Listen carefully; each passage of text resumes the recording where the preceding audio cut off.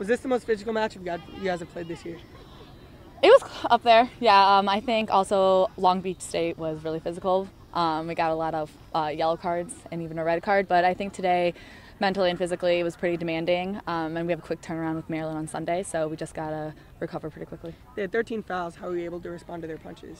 Yeah, um, I mean, I think the biggest thing that we were taking people on, so that was a huge plus, and that's why they didn't really know, know what else to do because they didn't want us to get to goal. So we got a lot of fouls there for ourselves. Uh, Marissa provided great services. We just couldn't really finish off them, but um, that's always good to have um, fouls and free kicks because we can capitalize on them.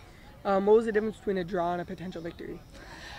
I think today we were the better team. We had a lot of possession. We played very well in the midfield as well. So it's a little bit frustrating just that we didn't get the win. But you know, like we've said before, soccer's a cruel game. And um, I think looking at the positives, that we know that we can play with teams like Rutgers. And um, I don't know, moving forward, we just need to keep that mentality and keep pushing hard. And I think uh, we'll get pretty far.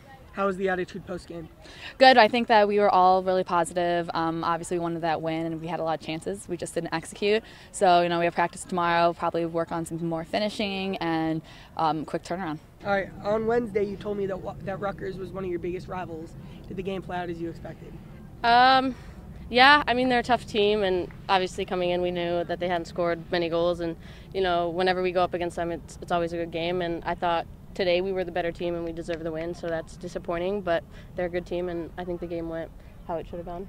Uh, they had 13 fouls. It seemed pretty physical. How are you responding to their punches? Um, you know, it's just it's part of the game. Some teams are more physical than others, and it's just another thing you have to look past, and you can't let it affect you, and you have to keep pushing forward and going for the goal. And hey, if they foul you in the box, then it's a good thing they were too physical. So you just gotta keep keep working and maybe use it to your advantage if you can. Um, on this stage, you seem like you were, you know, giving everything you had. How do you evaluate your performance and your hustle today? Um, I felt good out there. Um, obviously, last year this is a game that I went down in, so I came in with a lot of um, enthusiasm, and I was super excited to just be able to come back out and you know play the game I love. And I think our team overall, um, you know, they pushed me, and I think overall we did really well. And I just wanted to win, and I wanted that goal, so you know, I gave everything I had. And, it's a little unfortunate, but I feel like we put in a good team effort. What was the difference between a draw and a victory?